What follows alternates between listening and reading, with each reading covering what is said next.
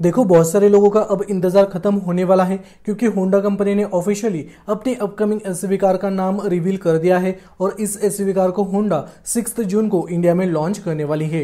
इस कार को इलिवेट नाम से इंडियन मार्केट में बेचा जाएगा और ये कार कम्पीट करने वाली है क्रेटा के साथ सेल्टॉस के साथ ग्रैंड विटारा और टोयोटा हाईराइडर के सेगमेंट के अंदर होंडा कंपनी इस कार को उतारने वाली है। लेकिन सबसे इंपॉर्टेंट चीज़ होंडा की जो अपकमिंग माइक्रो एसयूवी कार है एक्सटर इसके बहुत सारे इमेजेस और वीडियोज़ लीक हो चुके हैं जिसके तहत इस कार का एक्सटर लुक कंप्लीटली विजिबल है और इस कार के इंटीरियर में क्या क्या फीचर्स ऑफ़र करे जाएँगे, वो भी चीज़ें सामने निकल कर आ चुकी है। तो इस वीडियो के अंदर मैं होंडा की अपकमिंग एस कार इलेवेट इस कार के बारे में डिटेल में बात करूँगा। इसके अलावा आपको होंडा की माइक्रो एस कार के अंदर क्या क्या फीचर्स मिलेंगे, इसका लुक कैसा रहने वाला है, सब कुछ चीज़ें मैं इस वीडियो के अंदर आपके साथ डिस्कस करने वाला हूँ। यहाँ पर सबसे पहले हुंडई की माइक्रो एस कार के बारे में बात कर लेते हैं। हुंडई ने इस कार का नाम रिसेंटली रिवील किया था। अब हुंडई कंपनी इस कार को एक्सटर नाम से इंडियन मार्केट में बेचेगी और ये कार कंपीट करने वाली है टाटा पंच के साथ इग्निस के साथ। इसके अलावा रिसेंटली लॉन्च सिट्रॉन की सी के साथ भी इस कार का मुकाबला होने वाला है। यानी माइक्रो एस सेगमेंट के अंदर और एक कार की एंट्री होने वाली है, लेकिन इस सेगमेंट के अंदर आज के डेट में टाटा पंच राज कर रही है।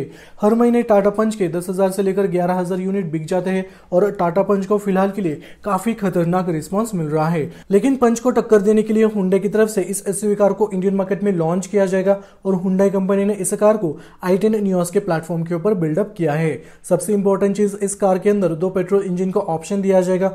एक इंजन रहेगा 1.2 litre naturally aspirated petrol engine इस इंजन के साथ आपको 83 bhp की पावर आउटपुट मिलेगी। इसके अलावा 1.0 लीटर टर्बोचार्ज पेट्रोल इंजन का ऑप्शन भी दिया जाएगा। लेकिन आज के डेट में टाटा पंच के अंदर आपको एक नॉर्मल सा पेट्रोल इंजन मिल जाएगा। उसके बावजूद भी वो कार काफ़ी ज़्यादा बिक जाती है। अगर मैं लीक इमेजेस की बात करूँ तो लीक इमेजेस के तहत इस कार का फ्रंट का फीचर कंप्लीटली विजिबल है। इसका साइड का प्रोफ़ाइल आप स्क्रीन के ऊपर देख सकते हैं और ये कार रियर से भी दिखने में आपको डेफिनेटली अच्छी खासी देखने को मिल जाएगी। इसके फ्रंट में आपको एच डिज़ाइन के साथ एलईडी डीआरएल का सेटअप देखने को मिल जाएगा, जो कि कंप्लीटली विजिबल है और रिसेंटली हुंडई ने कुछ टीजर इमेजेस भी आउट करे थे, जिसके अंदर भी आपको सेम डिज़ाइन का एलईडी डीआरएल का सेटअप देखने को मिल जाएगा। इसके अंदर आपको एलईडी प्रोजेक्टेड हेडलैम्प का सेटअप मिल जाएगा। शायद हुंडई कंपनी टॉप मॉडल के अंदर ये चीज़ ऑफ़र कर सकती है।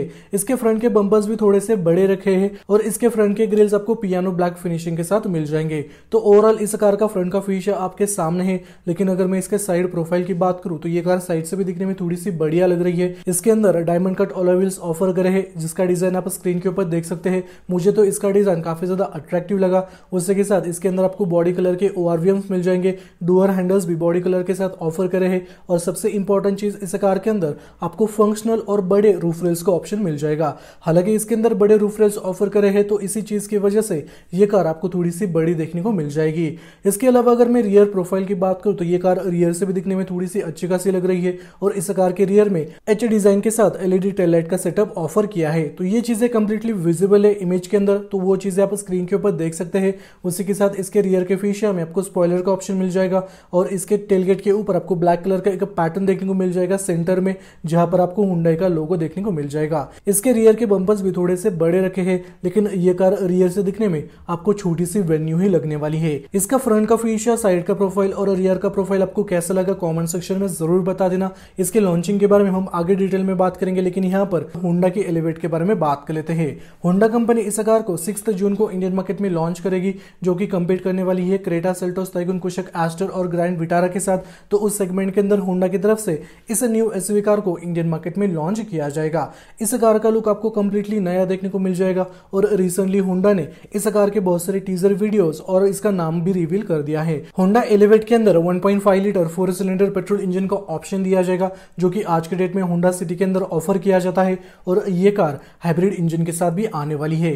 यानी जिस तरह से आज के डेट में होंडा सिटी के अंदर पेट्रोल इंजन और हाइब्रिड टेक्नोलॉजी का यूज़ किया जाता है सेम चीज़ आपको होंडा की अपकमिंग एसवी कार के अंदर भी देखने को मिल जाएगा। क्योंकि इस सेगमेंट के अंदर आज के डेट में ग्रैंड विटारा और टोयोटा हाईराइडर के अंदर आपको हाइब्रिड टेक्नोलॉजी का ऑप्शन भी मिल जाएगा और दोनों ही कारें सीएनजी किट के साथ भी आ जाती है और दोनों ही कारों के अंदर आपको नॉर्मल से पेट्रोल इंजन का ऑप्शन मिल जाएगा। तो सेम सेगमेंट के अंदर और एक कार के अंदर आपको हाइब्रिड टेक्नोलॉजी का ऑप्शन मिलेगा, जिसको हुडा की तरफ़ से बहुत जल्दी इंडियन मार्केट में लॉन्च किया जाएगा। इस कार का एक्सटर्नल लुक कम्प्लीटली नया रखा जाएगा, जैसे कि इसके फ्रंट फीचर में आपको न्यू ग्रिल का सेटअप देखने को मिल जाएगा न्यू लाइटिंग सेटअप आपको मिल जाएगा, यानी एलईडी डीआरएल ऑफ़र किया जाएगा एलईडी हेडलैम्प का सेटअप भी दिया जाएगा फ्रंट के बम्पर्स रियर के बम्पर्स आपको ड्यूल टोन कलर के साथ मिल जाएँगे, और होंडा की ये कार आपको साइड से भी दिखने में डेफिनेटली पसंद आने वाली है। इसका रियर का फीचर भी काफ़ी ज़्यादा अट्रैक्टिव रहने वाला है, लेकिन इस कार के इंटीरियर में काफ़ी ज़्यादा फीचर्स आपको होंडा सिटी वाले ही देखने को मिल जाएँगे।